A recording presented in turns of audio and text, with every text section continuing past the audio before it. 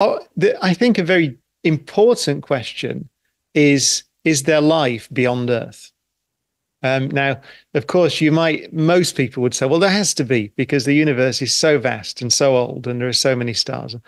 But, but actually, finding it is something that might happen in the next few years, let's say the next decade or because we have space missions out there. We have a mission called Mars Sample Return, which is, we might be able to say definitively, no, there is life beyond Earth um, in the next decade or so. I, I, would say, by the way, that um, if we find life elsewhere in the solar system, it will be at best microbes, which is interesting in itself because that's pretty close to the age of the Earth.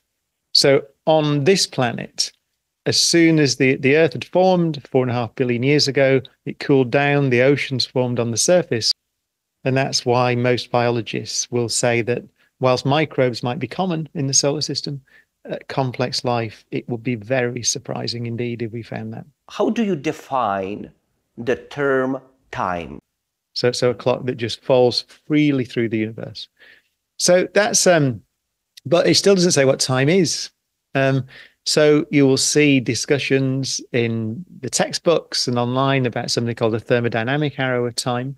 So it, it is true to say that for example, the laws of nature, the basic fundamental laws of nature, don't care which way you run time.